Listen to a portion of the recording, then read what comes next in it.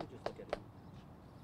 Awesome. Can you talk about your experience last night? Um, last night I was at the uh, protest um, uh, off of University Boulevard, and I saw the police escalate violence, and then they uh, forcefully grabbed me by my hair and dragged me across the street, and then put me in handcuffs and arrested me. That was my experience, at least at the end there.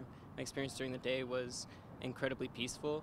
I saw um, a lot of comrades come together to build something really, really beautiful, and uh, through solidarity, we were able to maintain the line and only end up with four arrests. So I think that I saw something uh, pretty courageous and beautiful yesterday. And I've seen you guys out there uh, protesting and whatnot in different aspects ever since I would say probably October of last year, and it's been fairly peaceful. What do you think led to the escalation this time around? Um, I think that the people protesting have always been peaceful. Um, we were unarmed. Uh, we were, we yeah, we were unarmed. We had we had a complete uh, personal responsibility to peace. The only people who bring violence in this situation are the police officers. Uh, we are we were in a spot peacefully um, making our demands. We weren't hurting anybody. Again, had no weapons. The police decided to storm us. They decided to say we were trespassing. They decided to make it unlawful. They decided to make it violent. They decided to drag me by my hair out into the street. It was a police decision to in, to be violent. If if we had the choice, we would never have any violence whatsoever. Why would we? The violence is almost always directed towards protesters. It's never directed towards police officers. A police officer didn't get killed or hurt tonight, but protesters did.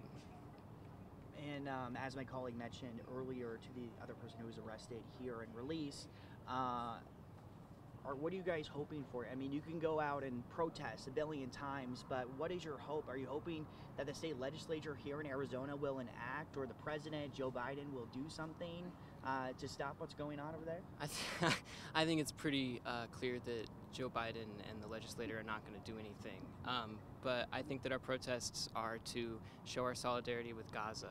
Um, I know personally, outside of any gains that we could make, that there are eyes on us in Gaza. There are Gazans who are seeing what we're doing and understanding that we're staying in solidarity and giving them hope uh, when they're facing, you know, bombs, they're losing their homes, they're losing their family members.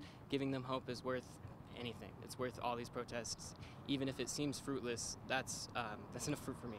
And kind of just wrapping things out, we're seeing a lot of universities and their students step up to go out and protest. And here we see it at the University of Arizona. Do you think this will be something that will continue on?